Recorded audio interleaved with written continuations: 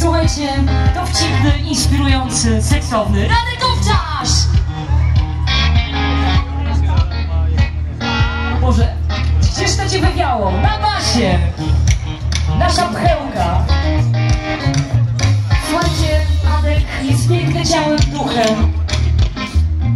Czego chcieć więcej? Do tego cudowny tata. I nasz hipis zespołowy, zielona dusza. Teraz wielkie okrzyk Radzia, proszę.